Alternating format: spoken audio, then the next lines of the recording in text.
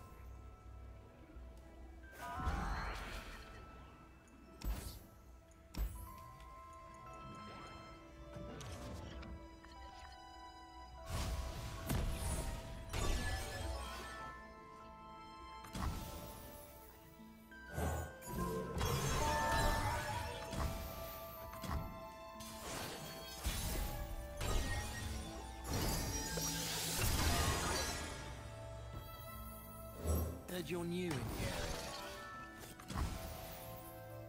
Those rockets look awful heavy.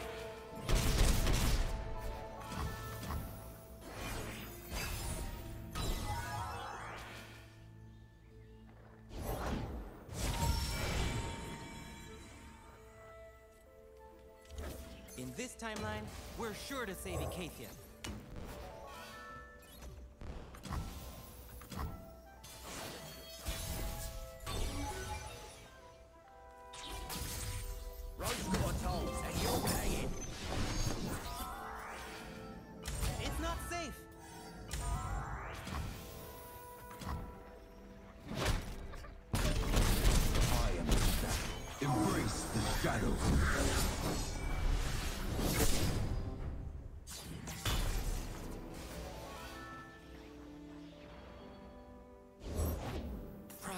End, as it will be yours.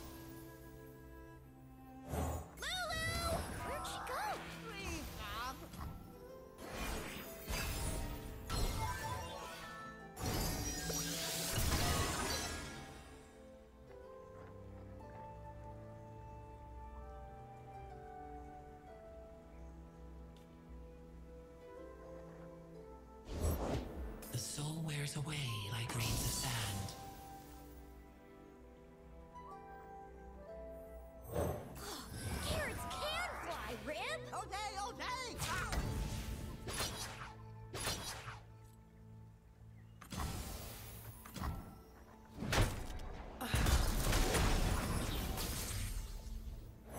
Pledge yourself to the shadows.